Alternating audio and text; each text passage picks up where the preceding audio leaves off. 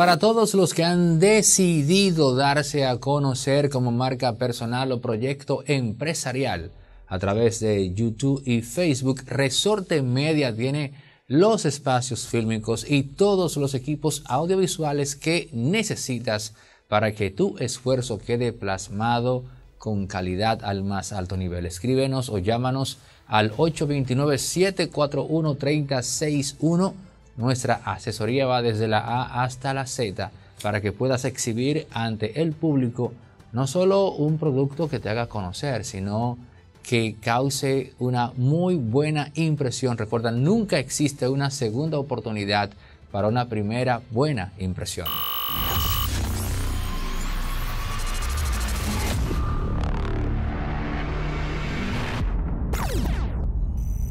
Ya se sabe, ha trascendido que el gobierno va a pasar por una especie de relanzamiento. Lo que Guido Gómez Mazara llamó en una entrevista que nos dio recientemente el cambio dentro del cambio. Y esto trae, como es natural, nerviosismo entre funcionarios que tienen ya un proyecto político y de vida jugándosela, contemplando o apostando a que el presidente los mantendrá cuatro años en ese cargo. Es un juego de poner la mano en el fuego y confiar en ti en que no te vas a quemar. Y es por eso que se dio el asunto aquel de que se mandó a parar los nombramientos, aunque luego se dijo que no, que todo aquel nombramiento que se hiciese sin afectar la nómina era permitido. Entiéndase que lo que no se permitía básicamente era alterar la nómina hacia arriba para nombrar más gente. Pero en verdad lo que ocurrió fue que Luis Abinader le mandó a poner un alto a esos nombramientos porque descubrió que como trascendió el tema de que venía un cambio dentro del cambio, entiéndase que había funcionarios que se iban, todos, al no saber quién es el que se va, habían comenzado a nombrar gente como profesionales de carrera para que el que venga no los pueda despedir. Y de esa manera mantener control de esos ministerios o instituciones del Estado. Ahora bien, lo que ha trascendido encima de eso o aparte de eso es que hay varios funcionarios, ministros al más alto nivel, que Hipólito Mejía hizo nombrar cuando, o que se los nombrasen, cuando Luis estaba armando su cuerpo de gobierno. Entre ellos, gente que yo me decía, fue un error de Luis Abinader nombrar a fulano de tal en, en este cargo porque ese cargo debe corresponderle directamente al presidente, no a un aliado. Pero cometió ese error. Hay varios funcionarios de Hipólito Mejía que se van. Y en su lugar, Luis Abinader va a colocar gente que responde a él. Esto no significa que tenemos una ruptura entre Luis e Hipólito, aunque habría que ver cómo lo va a tomar Hipólito Mejía, si va a ser consciente y lo que va a decir, bueno, piqué adelante, eh, me pusieron gente mía dos años, o si Hipólito lo va a tomar como una agresión.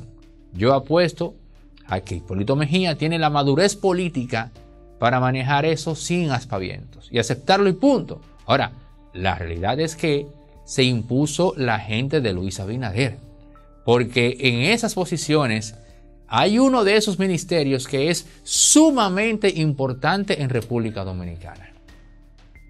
Y a ese ministro que responda Hipólito Mejía, lo van a remover.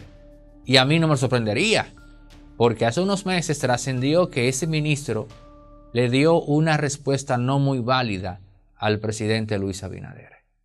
Vienen cambios en el tren de gobierno e Hipólito Mejía será afectado. Ahora, lo que sí pudiera ocurrir, conociendo uno cómo es, o sea, lo débil que es, oigan bien, lo débil que es Luis Abinader con Hipólito Mejía.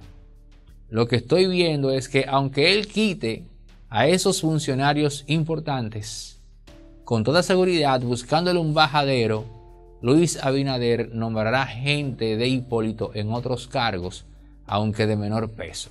Todo con, tal de, digamos, de, no de no afectar la armonía, entre comillas, de su relación con el expresidente Hipólito Mejía, quien además es el mentor político de Luis Abinader. Pero cuando se den esos cambios, sobre todo de funcionarios que despachan con Hipólito Mejía, sé que mucha gente en este país lo va a celebrar. Ahora bien, la pregunta que tenemos que hacernos es si este cambio dentro del cambio será suficiente para lavar la imagen del gobierno, robustecerla y facilitar la reelección. La pregunta es si un cambio que al mismo tiempo no signifique incorporar a esas bases al Estado, servirá para de alguna manera allanarle el camino a Luis. Mi respuesta es no. Ese cambio tiene que ir de la mano de nombramientos de esas bases para cambiar la narrativa de que inmediatamente llegó al poder, Luis Abinader le dio la espalda a las tropas que hicieron que él llegase a conquistar el Palacio Nacional. Estamos en Patreon. Todas las personas que quieren que Impolíticamente Correcto se expanda, crezca todavía más y te brinde un contenido con mayor calidad, pueden entrar ahora mismo en la etiqueta que dice gracias de antemano y hacer tu aporte desde un dólar. Con eso te conviertes en uno de nuestros financistas y también contribuyes a la economía de, digamos, de la información, porque nosotros estamos constantemente contratando gente para trabajos puntuales, estamos también comprando en el mercado local o a través de Amazon equipos para robustecer la calidad de imagen. Ahora mismo puedes entrar, hacer tu aporte. Gracias por esto y también por tu atención. Comentar, dar like, dislike y compartir nuestros contenidos. Ya se sabe que Lotedon te premiará el doble con el Agarra 4 este, este mes de agosto porque cumple ya dos años. Pero voy a dejar que sea este spot que te ilustre de qué va todo esto, esta sorpresa que ya no es sorpresa, que tiene Lotedon en agosto de este año. Tuve un sueño, déjame ver qué da esto. Super Lotedon, Super Lotedon. Necesito descifrar un sueño. Dígame, ¿qué significa Idor? El 2, segundo aniversario de Lotedom. Segundo aniversario. ¿Y otro 2? Esos son 2 millones. ¿Cómo? ¿Y tú eso cuarto? Y yo me soñé con el 22 también. ¿Qué da eso? 22 de agosto del 2022. Locutor, Explícale tú lo bueno que te te sueño. Con gusto, Super Lotedom. Es que el segundo aniversario de Lotedom trajo el 2 de los cuartos. Y nuevamente el Agarra 4 te hace millonario. Ahora con 2 millones gratis para un solo ganador. Haz tus jugadas del Agarra 4 para generar tus códigos desde el primero al 22 de agosto, día en que celebramos nuestro sorteo de aniversario. Arranca a soñar tempranito para que te hagan millonario rapidito.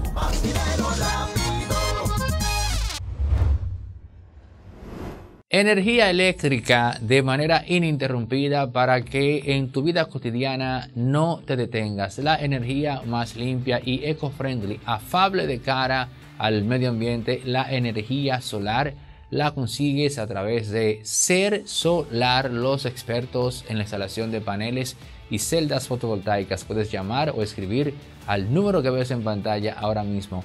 Una sola inversión, una gran solución, energía para toda tu vida. Llama o escribe ahora y descubre que es así. Francelis María Fulcar no ha vuelto a aparecer, no ha vuelto a dar señales de vida.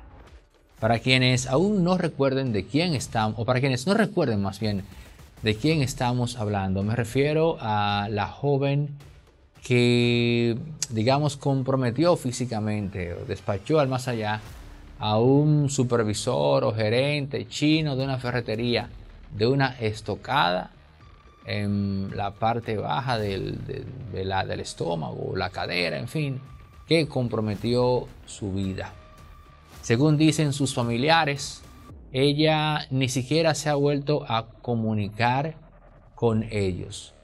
Existe de momento un mito urbano que dice que su desaparición está directamente vinculada a una especie de vendetta de la comunidad china en nuestro país. Está ese mito urbano. Lo que me parece a mí que ocurrió, conociendo incluso la idiosincrasia de nuestras autoridades, y cuando digo nuestras autoridades, en este caso, me refiero a la Policía Nacional.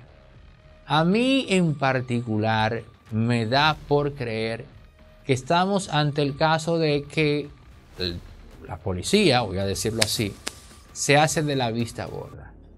Llama a los familiares y les dice, la muchacha, que se vaya para un campo y que se olvide de eso.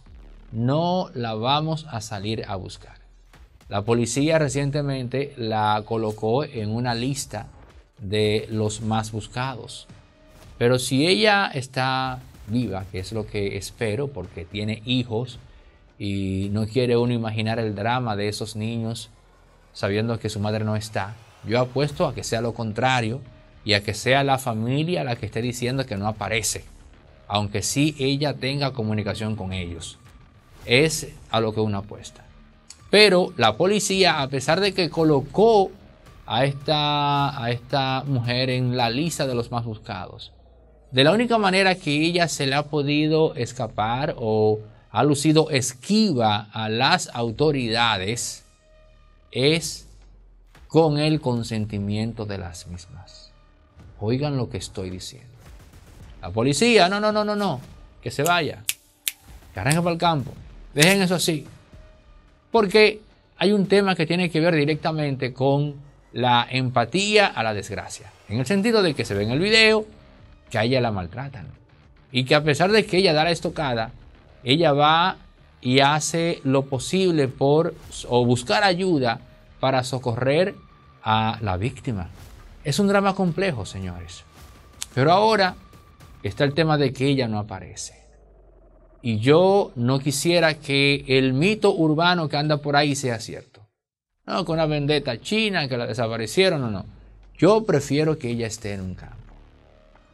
Se puede cuestionar a, a quienes incurrieron en eso en caso de que así haya sido. Pero algo pasó. Y yo no creo en ese mito urbano. Y me hace sentido común que si no la han atrapado hasta ahora, es porque las mismas autoridades decidieron dejar eso así. Oigan bien, las mismas autoridades decidieron dejar eso así. Por ahí es por donde me parece a mí que va el tiro en el caso de Francelis María Fulcar. Comer bien, oigan, bajar de peso y mantenerte en buen estado de salud es posible todo al mismo tiempo. Lo único que tienes que hacer es dar con la persona indicada. Y saben qué, no hay excusa de que no tengo tiempo para ir al nutricionista. Porque yo que soy amante del fitness, les voy a recomendar a uno que hace consultas virtuales. Carlos Nogales, health coach y terapeuta nutricional, es mi recomendación para todo aquel que quiere mejorar su vida a través de la nutrición. Si ustedes van de mi parte, porque lo estoy recomendando yo a ustedes, van a tener un 50% de descuento en la consulta. Duermes mejor, tienes menos estrés y te encuentras con una energía de vida que tú no imaginabas que tenías. La consulta es virtual, así que no hay excusa para que tú te animes a darle un cambio, un giro favorable y saludable a tu vida. Carlos Nogales, Health Coach y terapeuta nutricional. Hay una farmacia con la que puedes contar siempre, es Farmacia Medicar GBC, porque está abierta de lunes a domingo y con los medicamentos a un 20% de descuento. Farmacia Medicar GBC, la de nosotros, con la que podemos contar porque es la de los dominicanos. Aunque yo no apoyo la manifestación, la revuelta de los médicos, me pareció sumamente curioso ver a policías maltratando médicos. Me parece una conducta desaprensiva Repito, no estoy de acuerdo con la protesta de los médicos. Pero ver a policías maltratando médicos cuando son esos mismos médicos los que tienen que socorrer en emergencia a un policía que llega herido, cuando fruto de un intercambio con antisociales, su integridad física resulta comprometida. Y es entonces ese médico el que tiene que ir a socorrerlo. Es contraproducente ver a un policía maltratando médicos, de la misma manera que es aún mucho más contraproducente ver policías maltratando policías, porque esos eh, agentes retirados que fueron a protestar por el tema de la pensión fueron maltratados por los policías que le recibieron. Sé que Ten, el general Ten, no hubiese querido que las cosas fuesen así. Se salió de las manos. Es muy humano. Pero esos policías estaban reclamando algo de lo cual esos que incurrieron en ese desatino se verán beneficiados en el futuro. El tema de la pensión. Aunque me han dicho que TEN aumentó las pensiones a 100 mil y 80 mil pesos respectivamente. Pero ese no es el tema.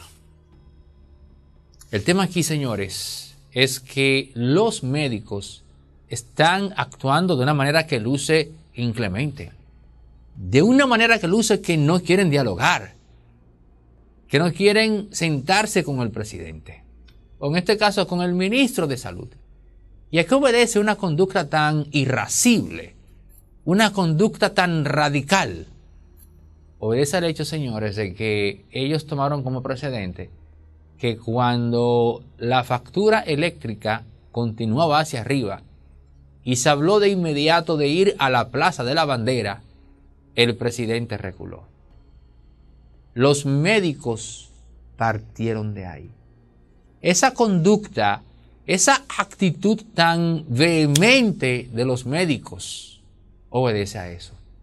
Aquellos entienden que si otros le pudieron doblar, tumbar el pulso al presidente que tenía su compromiso con los empresarios del sector de la generación, entonces ellos, que son los protagonistas, o se entienden así, de un sistema que tiene que ver con un servicio tan vital como lo es la salud, se dijeron, pero si esos empresarios y el presidente tuvieron que recular por el simple hecho de mencionar el fantasma de la Plaza de la Bandera, entonces nosotros podemos hacer algo similar pisaron el acelerador y ahí tenemos este show.